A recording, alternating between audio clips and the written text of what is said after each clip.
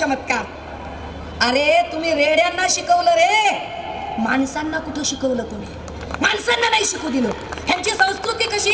रेड्याला शिक शिक म्हणून मागे लागतायत. माणसाला शिकू द्यायचं नाही. ह्यांची संस्कृती काय? कुत्र भाकर घेऊन गेलो तर तुपाची वाटी राहिली म्हणून एकनाथ महाराज त्याच्या मागं. अरे तूप खा तूप खा. नुसतीच रोटी कशी खातो? तूप पण खा सोबत. ह्यांची संस्कृती काय? माणसाला भाकर द्यायची नाही. मुंग्या शोधून शोधून साखर घालायची आहे. माणसाला पाणी द्यायचं नाही पण पंचमीला नाग शोधून शोधून दूध पाजायचंय हा दहीहंडी केलीच पाहिजे हो विषयच नाही काही. हा ह्यांची पोरं बाळा हे दहीहंडीच्या थराला खाली वर लावणार नाही दहीहंडी पण केलीच पाहिजे आमच्या पोरांचे जीव धोक्यात घालून. शिक्षणच नाही ना आम्हाला. सांगितलंच नाही ना कुणी. काय चूक काय बरोबर काय गलत काय काही आम्हाला कळलं नाही. मग शिक्षणाचे एक एक टप्पे येत गेले. मग या देशात ब्रिटिशांची हुकूमत सुरू झाली. ब्रिटिशांना वाटले की अरे या देशात शिक्षण करणे गरजेचे आहे का? कारण आपण सगळेच शिकलेले लोक आता इंग्लंडहून भारतात आणू शकत नाही. भारतावर राज्य करायचं असेल तर भारतातल्याच लोकांना शिक्षण द्यावे लागेल. भारतातल्या लोकांना शिक्षण द्यायची हा विचार सुरू झाला इतक्या. त्याच्यासाठीची एक सभा भरवली एक मीटिंग भरवली. आणि मीटिंगमध्ये गांधी गोखले आगरकर यांच्यासारखी जी मंडळी होती ना ती मंडळी सांगायला लागली की शिक्षण द्यायचंय ना एकच देशीय भाषेतनं शिक्षण दिलं गेलं पाहिजे. एकच देशीय भाषा म्हणजे या मातीतली भाषा. म्हणजे कसली भाषा? तो म्हणाले संस्कृत मधून शिक्षण द्या. फुल्यांनी सांगितले जमणार नाही. शिक्षण द्यायचे असेल तर तुम्हाला इंग्रजीतनं शिक्षण द्या. ह्यांचं संस्कृत आम्हाला कळलंच नाही कधी तर काय उपयोग आहे यांच्या संस्कृतचा?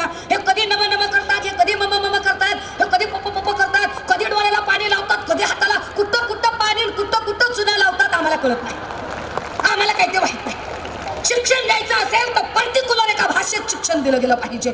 फार मोठा स्टँड होता हा. आणि शिक्षण द्यायची सुरुवात ठरली. पण मग पुन्हा म्हणाले शिक्षण द्यायचं कुणाला? शिक्षण द्यायचं कुणाला? म्हटल्यावर इथे जे शिक्षणाचे सिद्धांत मांडत होते ब्रिटिशांना सांगणारे हेच ना पुन्हा कारण त्या काळात काँग्रेस होती. अठराशे पंच्याऐंशी ला स्थापन झालेली काँग्रेस.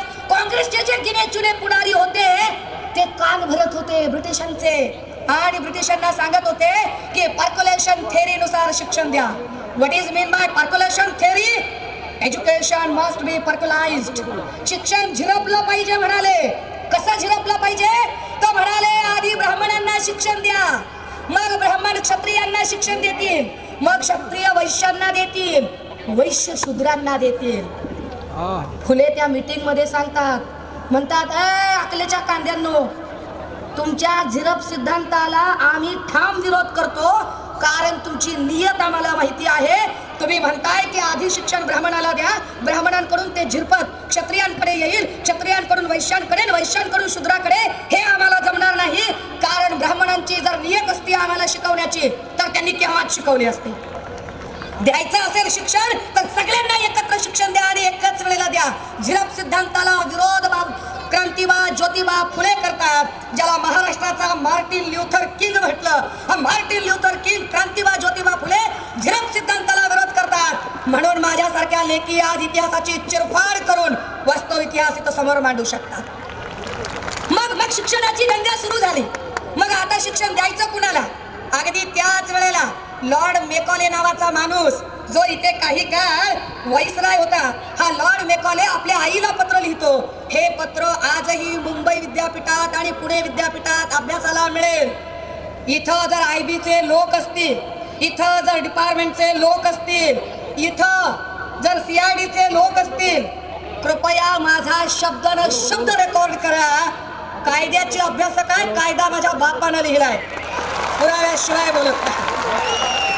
इथे लॉर्ड मेकॉलेने पत्र लिहून सांगितले आणि लॉर्ड मेकॉले सांगतोय आई मी काँग्रेस आणि सगळ्या लोकांच्या सोबत ही चर्चा केली आहे. आई मी भारतीयांच्यासाठी शिक्षण पद्धती तयार करतोय. ही शिक्षण पद्धती कशी असेल?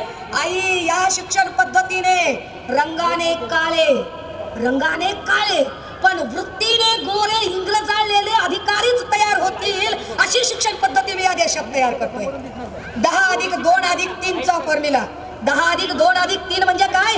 दहावी बारावी ग्रॅज्युएशन हा फॉर्म्युला या देशात राबवला गेला. काय या दहा अधिक दोन अधिक तीनचा परिणाम? अरे ज्याचा मार्केटमध्ये उपयोग नाही असं शिक्षण आम्हाला शिकवलं जाते. आम्हाला शिकवलं आमच्या लहानपणी कविता शिकवली. कविता काय? हिरवे हिरवे गारगालीचे हरकतनांच्या मखमालीचे. त्या सुंदर मखमालीवरती मुन्नी तळत होती.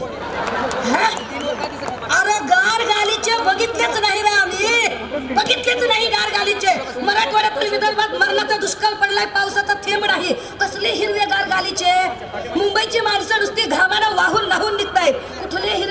कुठले पुण्यातल्या एसीतल्या बसलेल्या आपटे देशपांडे बर्वे चिपळणकरांनी लिहायचं आणि आम्ही ते अभ्यासायचं. मग यांनी कविता लिहायची. कविता काय? एक तुतारी द्या मजा आणून फुंकी नदी मी स्वप्राणाने. अरे तुतारी तुला वाजवायची तर तुतार्या तू आणि की तुतारी. आम्ही तुला आणून द्यायची तू वाजवायची होय. आणि ही कविता म्हणजे फार मोठी कविता. हा ही कविता आता साहित्य संमेलन चालू आहे तिकडे बडोद्याला हे म्हणजे यांचं ग्रेट साहित्य. हे शिक्षणात त्यांनी आम्हाला शिकवायचं. त्यांनी आम्हाला शिकवायचं. प्रेम आंबले असेल ज्यांचे. प्रेमभंगाने प्रेमाचा गुलकंद यांनी चाटून हा बघणे? काय शिकवतात आमच्या पोराला? चौथी पाचवीच्या सातवीच्या लेकरांना असल्या कविता यांनी शिकवायच्या? आणि आम्ही गप गुमान शिकायच्या. आम्ही कविता शिकायच्या. पोट सुटले म्हणून पोट कमी करण्यासाठी बटाट्याची चाळ मधला उपासचा उतारा आम्ही शिकायचा. अरे आमच्या पोटात काही नाही रे. आम्ही उपाशी लोक आहोत. भाकरीचा चंद्र शोधण्यात जिंदगी बर्बाद झाली. हे सांगणारे नारायण सुर्वे त्या नारायण सुर्व्यांच्या कविता आमच्या अभ्यासाला येण्यासाठी फार मोठा संघर्ष इथल्या पॅन्थरच्या पिढीला करावा लागला. मग तो अभ्यासक्रम आम्हाला मिळाला. काय पद्धतीनं शिक्षण यांनी दिलं? काय पद्धतीने हे आम्हाला शिकवत राहिले? या शिक्षणामध्ये मग एक वर्धा योजना म्हणून आली.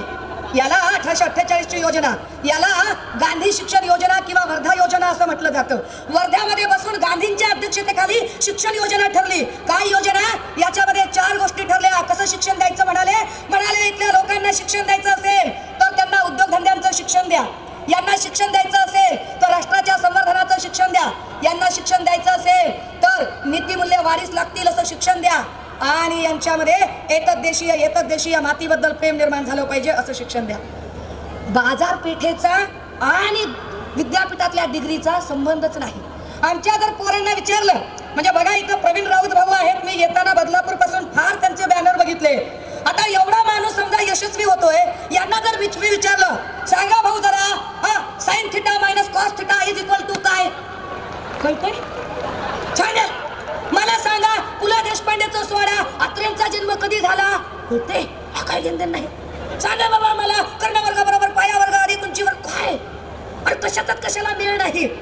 कॅथोड एनोड प्रकल्प. अरे आमच्या जगण्याशी संबंधित सांगा रे. मार्केटची मागणी काय आहे? विद्यापीठात तुम्ही काय शिकवता इथल्या शिक्षण व्यवस्थेत तुम्ही काय देता? कारण विद्यापीठात नाकाम शिक्षण तुम्ही देता ज्याचा मार्केटशी संबंध राहत नाही. मग आमची पोरं बेरोजगार होतात बेकार होतात. आणि बेरोजगार आणि बेकार पोरांना गुन्हेगारी जगत आणि राजकारण आकृष्ट करायला लागतं. मग राजकारणातले लोक आमच्या या तरण्या भांड पोरांना हाताशी धरतात. पोरांना काय विचारांना पोरांचे काय?